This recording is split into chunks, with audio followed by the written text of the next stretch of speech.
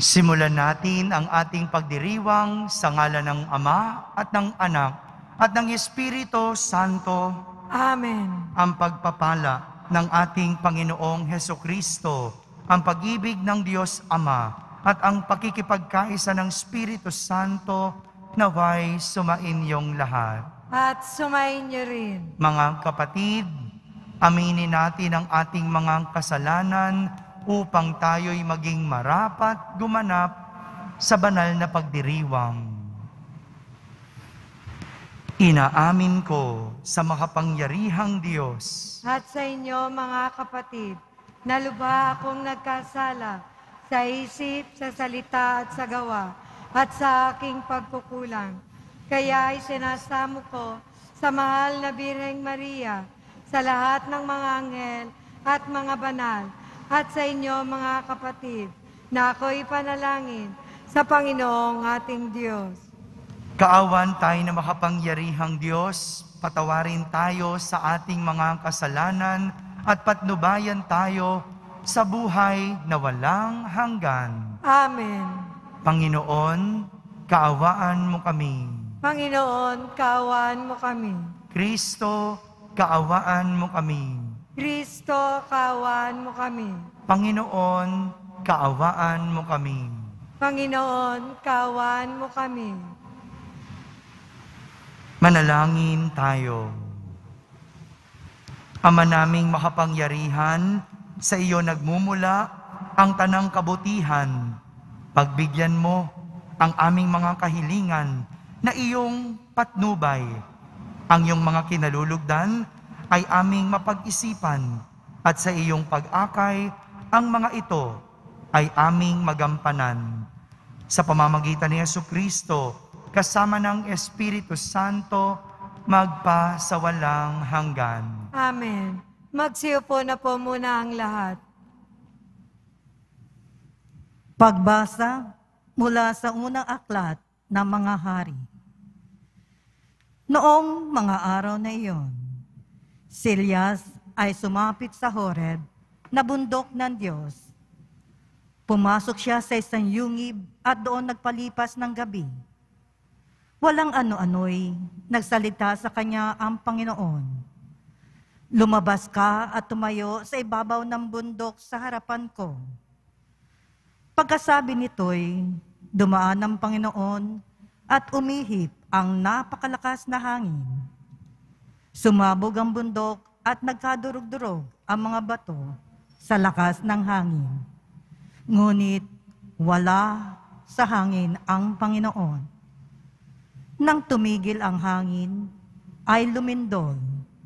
Ngunit wala sa lindol ang Panginoon. Pagkalipas ng lindol, ay kumidlat. Ngunit wala rin sa kidlat ang Panginoon. Pagkalipas ng kidlat, narinig niya ang isang banayad na tinig. Lumabas si Elias, tinakpan ng balabal ang kanyang mukha at naghintay sa bunganga ng yungib. Narinig niya ang isang tinig, nagsabi, Elias, bakit ka naririto?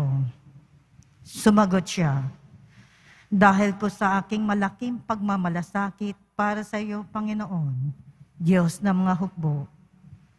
Tinalak, tinalikda ng bayang Israel ang iyong tipan.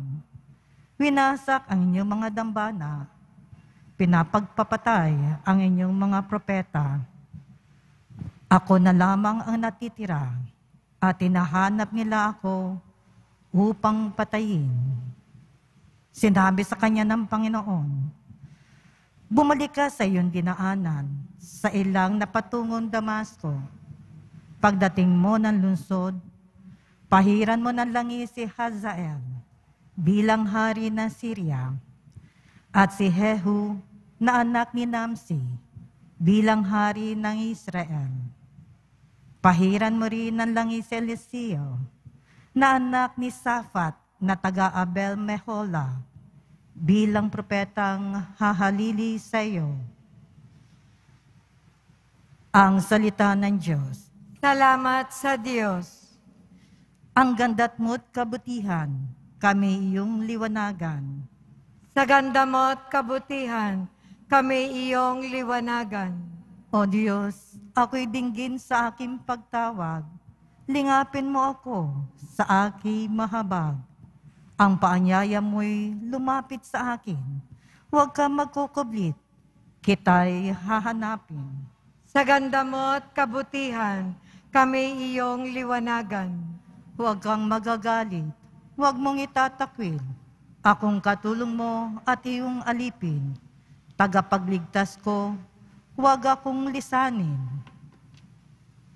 Sa ganda mo't kabutihan, kami iyong liwanagan. Ako'y nananalig na bago mamatay.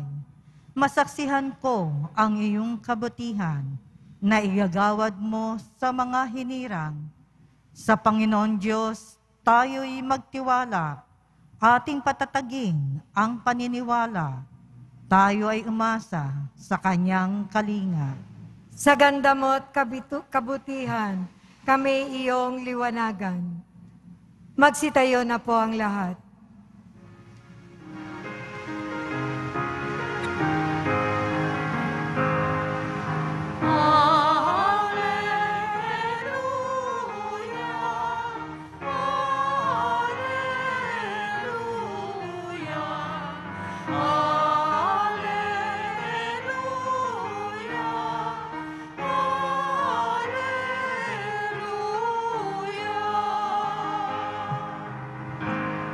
Sa daigdig ay laganap, liwanag na sumisikat, salitang buhay ng lahat.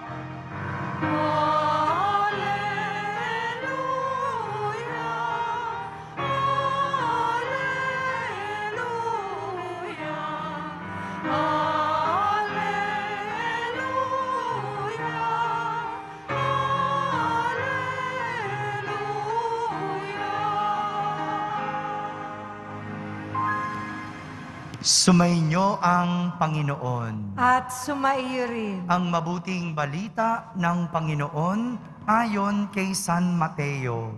Papuri sa iyo, Panginoon.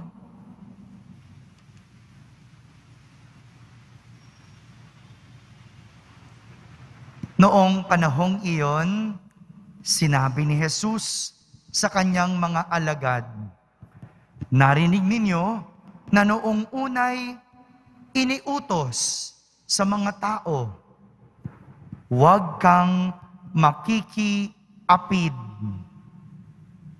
Ngunit ngayon, sinasabi ko sa inyo, ang sinumang tumingin ng may mahalay na pagnanasa sa isang babae, sa isip niya'y nakikiapid na siya sa babaeng iyon. Kung ang mata ang siyang nagiging sanhi ng iyong pagkakasala, dukutin mo at itapon sapagkat mabuti pang mawalan ka ng isang bahagi ng katawan kaysa buo ang iyong katawang itapon sa impyerno. Kung ang iyong kamay ang siyang naging sanhi ng iyong pagkakasala, putulin mo at itapon. Mabuti pang mawalan ka ng isang bahagi ng katawan kaysa buo ang iyong katawang itapon sa impyerno. Sinabi rin naman, kapag pinahiwalay ng lalaki ang kanyang asawa, ito'y dapat niyang bigyan ng kasulatan ng paghihiwalay. Ngunit ngayon, sinasabi ko sa inyo, kapag pinahiwalay ng isang lalaki ang kanyang asawa nang hindi naman ito nangangalunya at ito'y mag-asawang muli. Ang lalaking iyo'y nagkasala. Itinulak niya ang kanyang asawa sa pangangalunya. at sino mang mag-asawa sa babaeng hiniwalayan ay nangangalunya. Mga kapatid, ang mabuting balita ng Panginoon.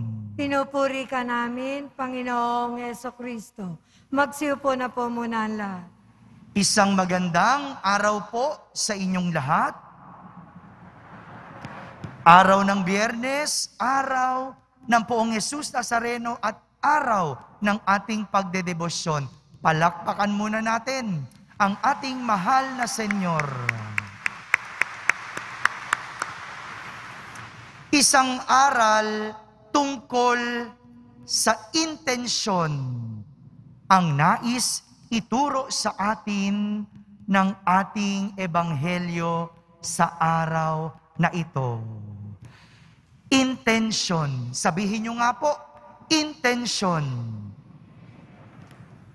Kung titignan natin ang salitang intention sa diksyonaryo, ito po ay nangangahulugang isang kagustuhan, isang plano, o isang pakay. Intensyon, plano, kagustuhan, o pakay.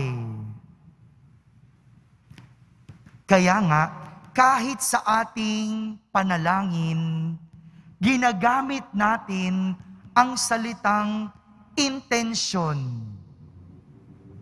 Dahil dito, nasasabi natin sa Diyos ang ating kagustuhan, ang ating plano, o ang ating pakay. Ito rin po ang dahilan kung bakit ka naririto ngayon. Kasi ikaw ay mayroong intensyon. Sino po bang walang intensyon dito? Taas ang kamay. Di ba wala naman? Hindi ka naman dadayo sa Quiapo, hindi ka naman makikipagsiksikan, hindi ka magpapakainit o gagastos nang wala kang intensyon. Hindi po ba? Lahat tayo mayroon. Magkakaiba nga lang. Pwedeng ang iba, ang intensyon nila, gumaling sa sakit. O gumaling ang mahal sa buhay sa sakit. Yung iba naman, ang intensyon ay may hinihiling sa Diyos. Hindi po ba? Ganyan po ba ang inyong intensyon? O, o yung iba naman, ang intensyon lang, magpasalamat sa poong Jesus Nazareno. Pwede din yun. Pero meron naman iba, ang intensyon, matulog. Oh, tingnan mo yung katabi mo. ba? Dumayo pa sa Quiapo para matulog. Oh. Kalabitin mo. Yon, oo. No? Meron yan. Kanya-kanya tayong intensyon, no? Sayang naman, andito ka na, pero intensyon mo, sabi mo, magpapasalamat sa Diyos. Pero ngayon, tulog. Eh ano ba talagang intensyon mo? Mga kapatid, ito po ang gustong gawin ni Jesus sa atin ngayon. Ang gisingin tayo sa tunay nating intensyon. Kaya nga, ginamit ni Jesus ang ikapitong utos para ipamulat sa atin ang tunay nating intensyon.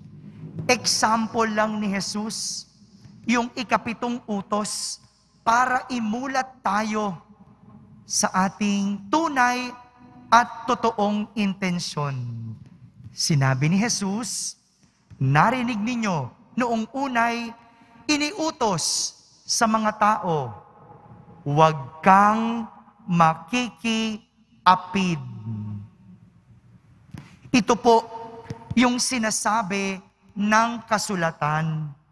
Ngunit ginigising ni Jesus ang lahat sa pagsasabing, ang sino mang tumingin ng may mahalay na pagnanasa sa isang babae, sa isip niya'y nakikiapid na siya sa babaeng iyon. Ibig sabihin, hindi porket wala kang kinakasama, hindi porket hindi mo pinapatulan o hindi mo pinapasukan ng relasyon ang iba habang ikaw ay may asawa o kasal, hindi ibig sabihin hindi ka nakikiapid. Dahil ang pagtingin sa iba na may mahalay na pagnanasa ay isang pakikiapid.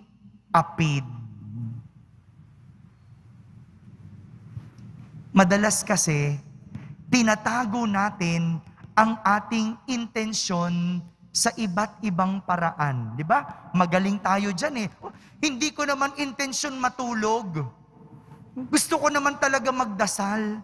Pero napapikit lang ako. Hmm? Minsan may ganun, di ba?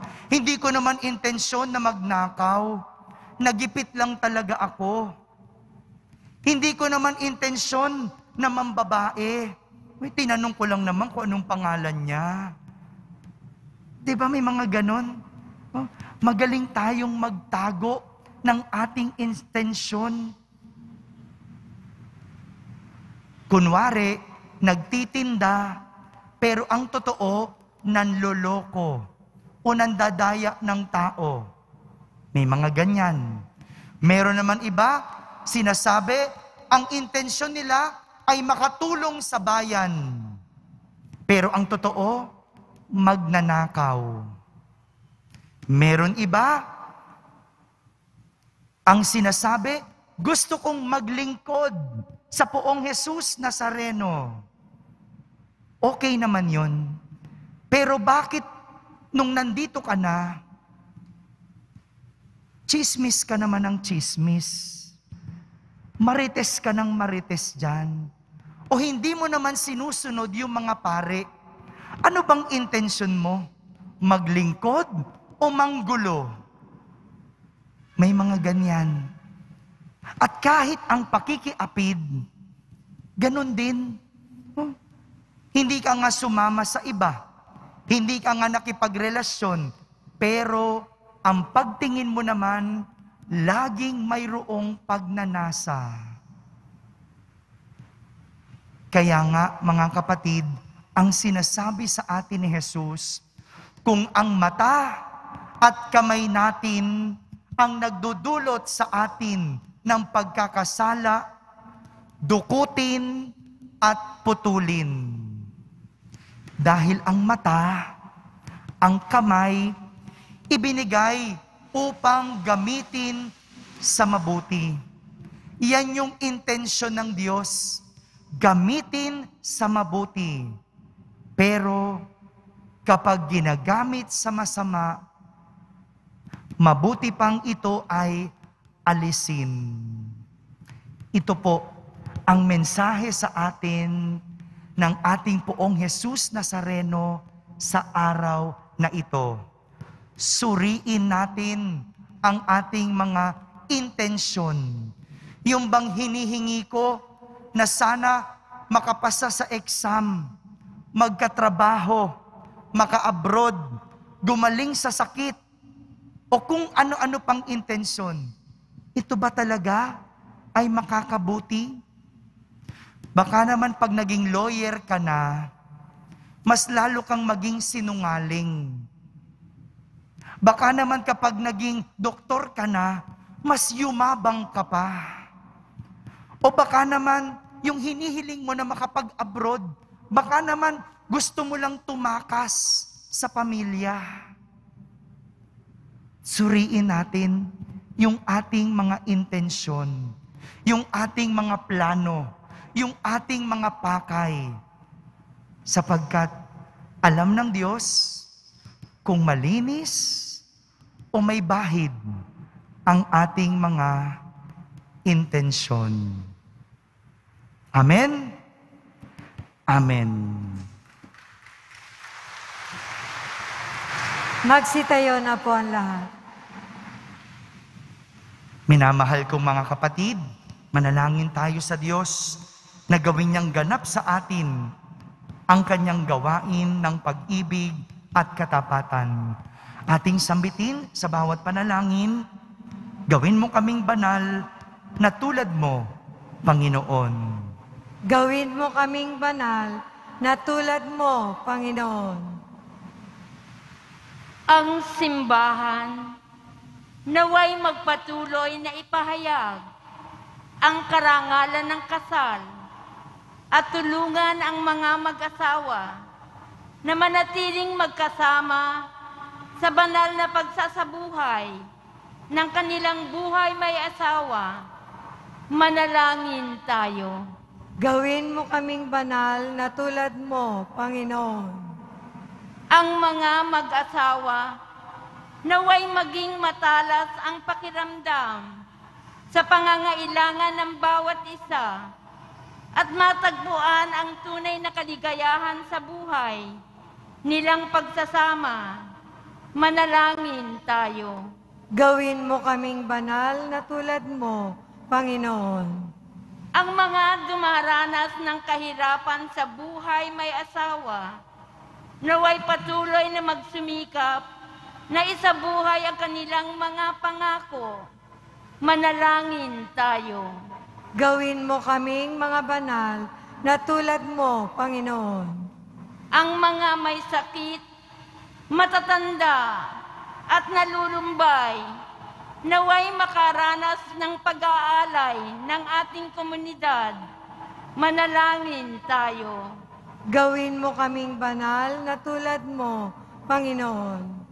ang mga pumanaw naway mabigyan ng puwang sa walang hanggang kaharian. Manalangin tayo. Gawin mo kaming banal na tulad mo, Panginoon. Sa katahimikan, ating ilapit sa Diyos ang ating mga natatanging intensyon.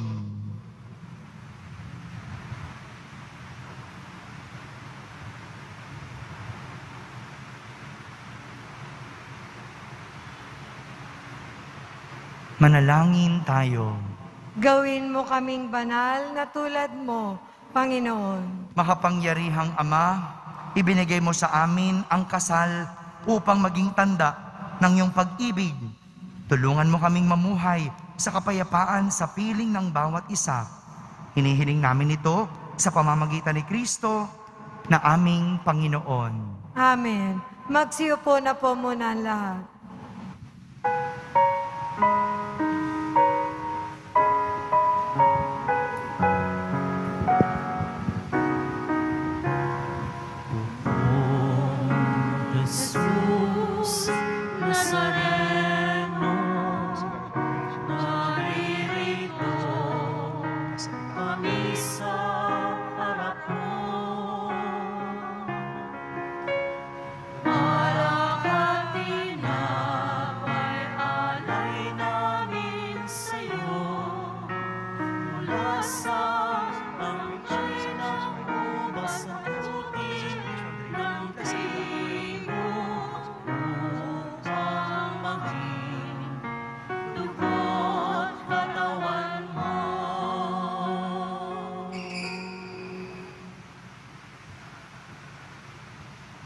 Magsitayo po ang lahat. Magsitayo na Manalangin po. kayo mga kapatid upang ang paghahain natin ay kalugdan ng Diyos amang makapangyarihan. Tanggapin nawa ng Panginoon itong paghahain sa iyong mga kamay, sa kapurihan niya at karangalan, sa ating kapakinabangan at sa buong sambayanan niyang bana- banal. Ama naming lumikha, tunghayan mo at kalugdan ang paglilingkod na aming ginagampanan upang ang aming inihahain ay iyong marapatin at ang aming pag-ibig ay iyong pag-alabin.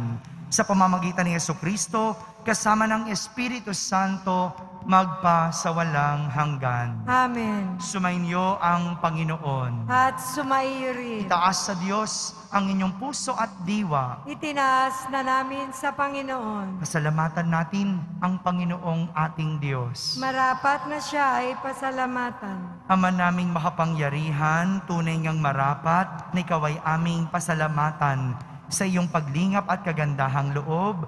Ang tao'y nilikha mo at pinangasiwa sa sansinukob. Sa hangad mong siya'y iwastong lubos. Siya'y pinagdusa mo sa kanyang pagtalikod. Sa iyong paggiliw, iyong ipinahintulot na makabalik siya sa pamamagitan ni Kristo Jesus. Kaya kaysa ng mga anghel na nagsisiawit ng papuri sa iyo nang walang humpay sa kalangitan, kami nagbubunyi sa iyong kadakilaan.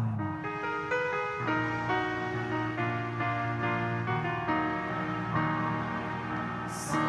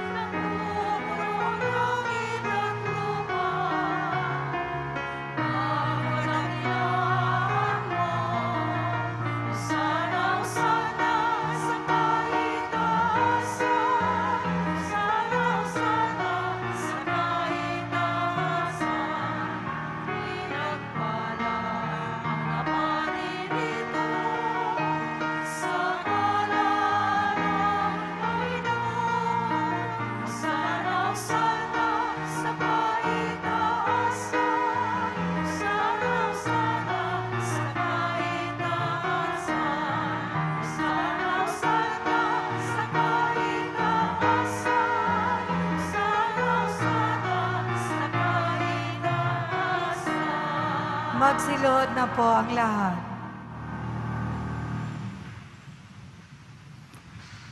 Ama naming banal, ikaw ang bukal ng tanang kabanalan. Kaya't sa pamagitan ng iyong Espiritu, ay gawin mong banal ang mga kaloob na ito upang para sa amin ay maging katawan at dugo ng aming Panginoong Heso Kristo. Bago niya pinagtiis ang kusang loob na maging handog, hinawa kanyang tinapay, pinasalamatan kanya. Pinaghati-hati niya iyon, iniyabot sa kanyang mga lagad at sinabi, Tanggapin ninyong lahat ito at kanin. Ito ang aking katawan na inihahandog para sa inyo.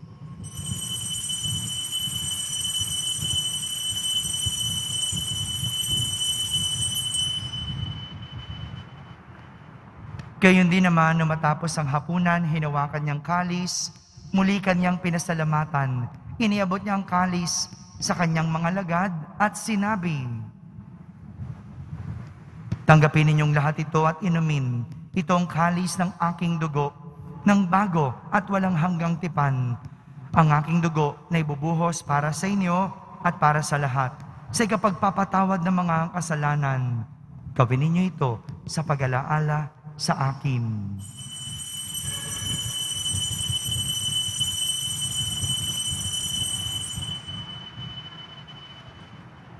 Magsitayo na po ang lahat. Ipagbunyi natin ang misteryo ng pananampalataya.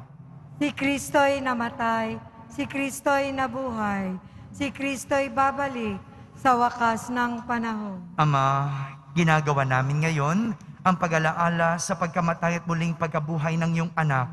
Kaya't inaalay namin sa iyo ang tinapay na nagbibigay buhay at ang kalis na nagkakaloob ng kaligtasan. Kami nagpapasalamat dahil kami iyong minarapat na tumayo sa harap mo para maglingkod sa iyo. Isinasamo namin kaming magsasalo-salo sa katawan at dugo ni Kristo ay mabuklod sa pagkakaisa sa pamamagitan ng Espiritu Santo. Ama, lingapin mo ang iyong simbahang laganap sa buong daigdig. Puspusin mo kami sa pag-ibig kaysa ni Francisco na aming Papa, ni Jose na aming obispo at ng Tanang Kaparian. Alalahanin mo rin ang mga kapatid naming nahimlay na may pag-asang sila'y muling mabubuhay. Kayon din ang lahat ng mga pumanaw. Kaawan mo sila at patuloyin sa iyong kaliwanagan. Kaawan mo at pagindapating kaming lahat na makasalo sa iyong buhay na walang wakas. Kaysa na mahal na Birheng Maria na ina ng Diyos, ng kabiyak ng puso niyang si San Jose, kaysa ng mga apostol, ni San Juan Bautista, at ng lahat ng mga banal na namuhay dito sa daigdig ng kalugod-lugod sa iyo. May pagdiwang nawa namin ang pagpupuri sa kararangal mo sa pamamagitan ng iyong anak na aming Panginoong Heso Kristo. Sa pamamagitan ni Kristo, kasama niya at sa Kanya, ang lahat ng parangal at papuri ay sa iyo, Diyos amang makapangyarihan, kasama ng Espiritu Santo, magpa sa walang hanggan.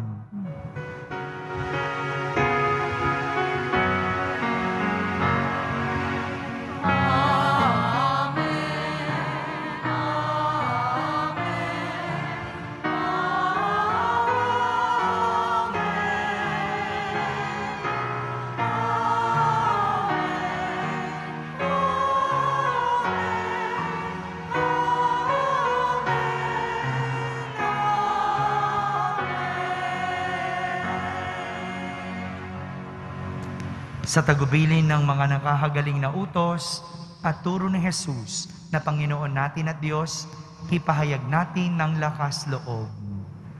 Ama namin, sumasalangit ka, Sambahin ang ngalan mo, mapasa amin ang kaharian mo, sundin ang loob mo, dito sa lupa para nang sa langit. Bigyan mo kami ngayon ng aming kakanin sa araw-araw, at patawarin mo kami sa aming mga sala, para na ang pagpapatawad namin sa nagkakasala sa amin. At huwag mo kami ipaintulot sa tukso, at iadya mo kami sa lahat ng masama. hinihiling namin kami iadya sa lahat ng masama, pagkaloban ng kapayapaan araw-araw, iligtas sa kasalanan at ilayo sa lahat ng kapahamakan, samantalang aming pinananabikan ang dakilang araw ng pagpapahayag ng tagapagligtas naming si Heso Kristo. Sapagkat iyo ang kaharian, at ang kapangyarihan, at ang kapurihan, magpakailanman. Amen. Panginoong Yeso Kristo, sinabi mo sa iyong mga apostol, kapayapaan ang iniiwan ko sa inyo, ang aking kapayapaan ang ibinibigay ko sa inyo. Tunghayan mo ang aming pananampalataya at huwag ang aming pagkakasala. Pagkaloban mo kami ng kapayapaan at pagkakaisa ayon sa iyong kalooban kasama ng Espiritu Santo magpa sa walang hanggan. Amen. Ang kapayapaan ng Panginoon ay laging sumainyo. At sumaiyo rin. Magbigayin kayo ng kapayapaan sa isa't isa. Kapayapaan po para sa lahat.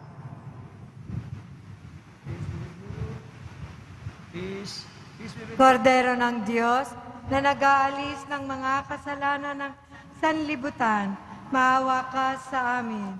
Kordero ng Diyos, na nag-aalis ng mga kasalanan ng sanlibutan, maawa ka sa amin. Kordero ng Diyos, na nag-aalis ng mga kasalanan ng sanlibutan, ipagkaloob mo sa amin ang kapayapaan. Magsilood na po ang lahat. Ito ang kordero ng Diyos. Itong nag-aalis ng mga kasalanan ng sanlibutan. Mapalad ang mga inaaniyahan sa kaniyang piging. Panginoon, hindi ako karapat-dapat na magpatuloy sa iyo. Ngunit sa isang salita mo lamang ay gagaling na ako. Ang katawan ni Kristo, Amen.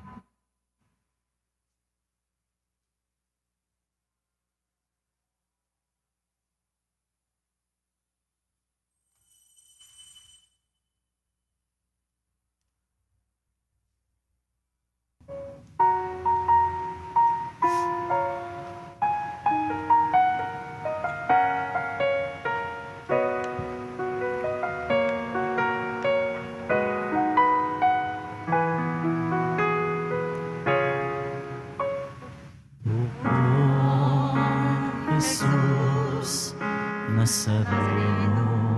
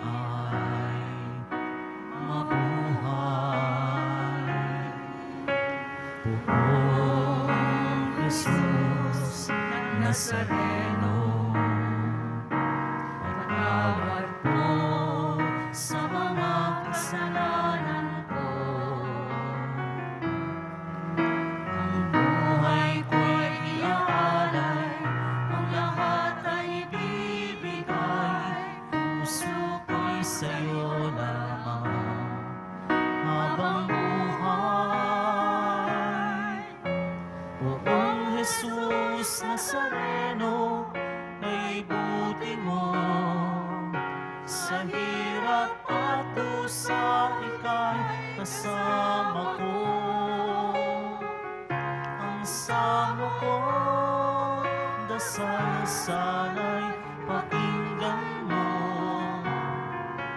nang mapawi ng mga paghihirap ko.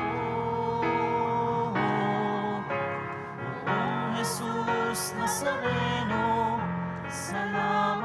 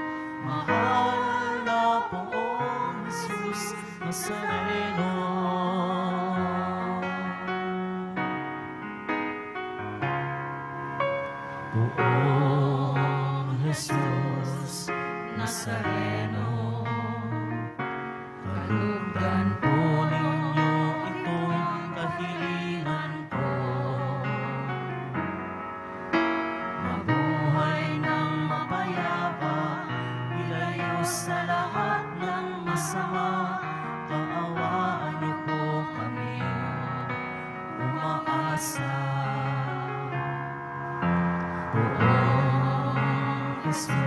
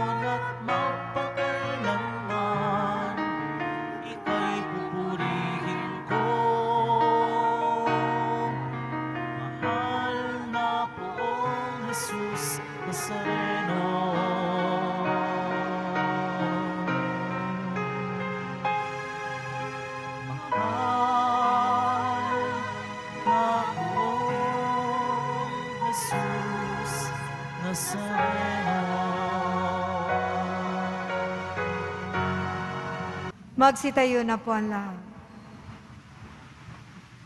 Manalangin tayo.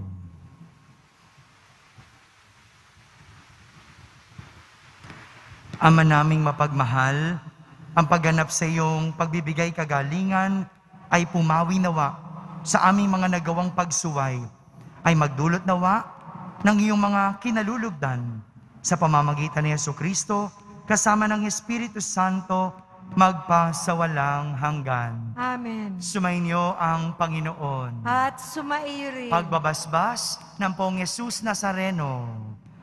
Mahal na pong Yesus Nazareno, inihayag mo sa pamamagitan ng krus ang walang maliw na pag-ibig ng Diyos sa sangkatauhan. Pakinggan mo ang kahilingan ng iyong angkan na nagsusumamo sa iyo. Makamtanawan nila ang inyong katugunan at tanggapin ang kasagutan na may utang na loob na tinatanaw. Basbasan din po ninyo ang lahat na may karamdaman, nahihirapan, may mga dalang imahen at dasalan. Sa pamamagitan ng bendisyon na ito, naway maalala nila ang mga pangako nila noon sa binyag na ikaw ang kanilang iibigin at pagdilingkuran bilang Panginoon magpa sa walang hanggan Amen. at pagpalain kayo ng makapangyarihang Diyos, Ama, Anak, at Espiritu Santo. Amen. Tapos na po ang ating pagdiriwang, humayking taglay, ang pag-ibig at kapayapaan ng poong Jesus Nazareno. Salamat sa Diyos.